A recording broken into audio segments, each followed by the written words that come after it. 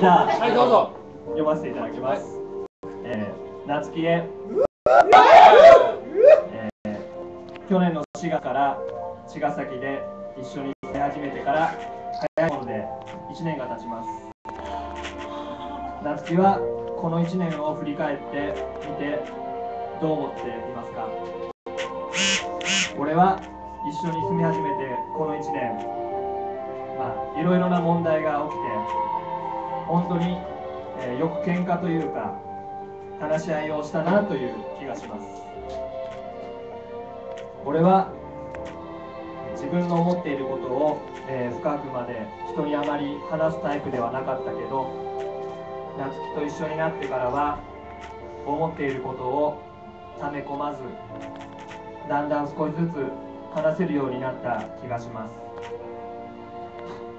話そうと思わせてくれる夏希がパートナーで本当に良かった。ありがとう、えー3月の結婚式の予定が今回の地震のこともあり延期となりました、えー結婚式の件も含め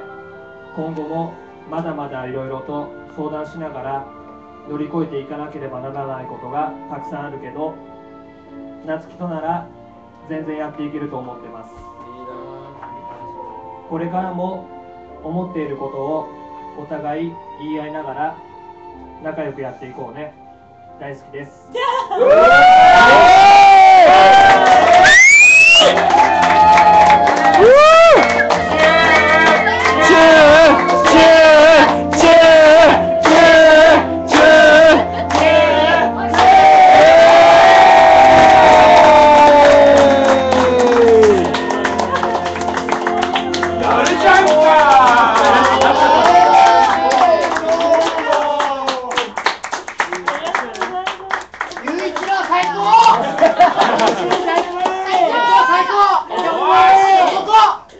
なっちゃんの涙が。な